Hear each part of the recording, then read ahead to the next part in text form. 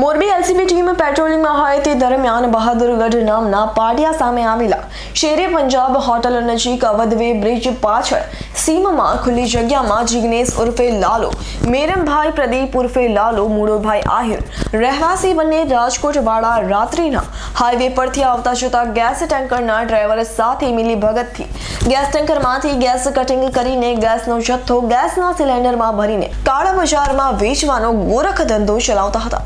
જ્યાં રેડ કરીને પોલીસે ગેસ કટિંગ કૌભાંડ ઝડપી પાડ્યું હતું. જ્યાં સ્થળ પરથી એલસીબીની ટીમે ગેસ ભરેલ ટેન્કર એચ આર આડત્રીસ T zero eight five three ગેસના જથ્થા સહિત કુલ રૂપિયા છવ્વીસ લાખ બાર હજાર ચારસો ચોવીસ ગેસના સિલિન્ડર નંગ અઠ્ઠાવીસ, કિંમત રૂપિયા છપ્પન હજાર. બોલેરો ગાડી જીજે ઝીરો ત્રણ, બીવી એસી બાવન, કિંમત રૂપિયા ત્રણ લાખ. ઇલેક્ટ્રિક વજન કાટો રબર વાલ્વ વાળી પાઇપ, કિંમત રૂપિયા બે હજાર. અને મોબાઈલ નંગ ત્રણ કિંમત રૂપિયા પંદર હજાર મળીને કુલ રૂપિયા ઓગણત્રીસ લાખ પંચ્યાસી હજાર ચારસો ચોવીસનો મુદ્દા માલ જપ્ત કરવામાં આવ્યો છે.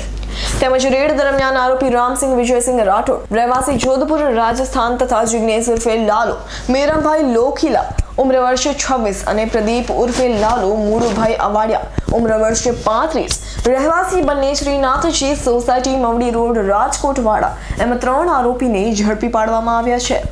મોરબી તાલુકાના બહાદુરગઢ ગામના પાટિયા પાસે, શેરે પંજાબ હોટલ પાસે એક ખુલ્લા મેદાનમાં ગેસ કટિંગ થાય છે. એ બાતમી આધારે મોરબી જિલ્લા એલસીબી એલસીબીએ સ્થળ ઉપર જઈ રેડ કરતા સ્થળ ઉપરથી ત્રણ ઇસમો ગેસ કટિંગ કરતા હોવાનું જણાયેલ, જેથી આ ત્રણેય ઇસમોને અટક કરવામાં આવેલ.